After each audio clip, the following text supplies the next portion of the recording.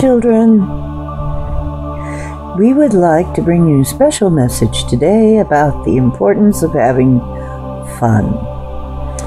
This is being recorded on the 1st of May, a day in the northern latitudes traditionally that is celebrated by enjoying the return of nature to wakefulness. You will see the blossoms popping out and the flowers springing up and the other plants in order to be admired by you, and they long to be admired by you, just as the trees would love to feel your back leaning against them, and the grass would love to tickle your bare feet, and the breeze wants to caress your body, just as you feel you want to show nature some love. Nature would like to show you some love too and be admired by you. And you know, also, it's a day to remember to balance out all of your struggling by having some fun.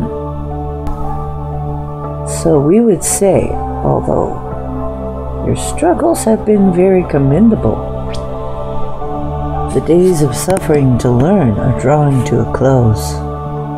We realize that some of you still must contend with things like schedules. Yes. But realize that as you move from the third dimension into the fifth, the fifth is much more fluid it's much more about adventure. And you'll find that when you really enjoy yourself, you will move ahead a lot faster. So reserve time to enjoy yourself. Reserve time to have fun, play, have adventures Nature wants to help you, wants to heal you. Nature is very healing. And this is a very strong, energetic time. So go out and take full advantage of it. Please, we would love to see this.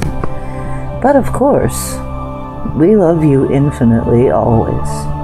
And although that is a difficult concept for you at this stage to understand fully, what it means is, no matter what you decide, we, of course, will never love you any more or any less.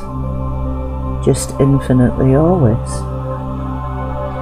But we would love to see you have more fun.